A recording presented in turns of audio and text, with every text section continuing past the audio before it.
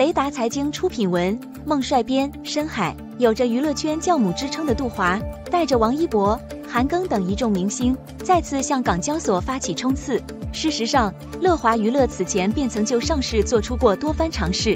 原本定于九月七日在港交所实现上市敲钟梦想的乐华娱乐，却又在九月一日宣布暂缓 IPO。有声音认为，乐华娱乐中途变卦的原因之一。是乐华娱乐留给资本市场的想象空间有限，因此市场给出的估值不及预期。之所以外界对乐华娱乐抱有的期待有限，很大程度上与其艺人管理业务占据营收九成以上比重，该业务又较为依赖公司头部艺人的现状有关。在此背景之下，乐华娱乐能否长期留住王一博，以及能否再打造更多的王一博？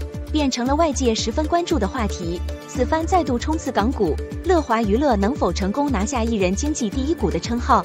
手握一票艺人的乐华娱乐，又能否再造下一个王一博？雷达财经将持续关注。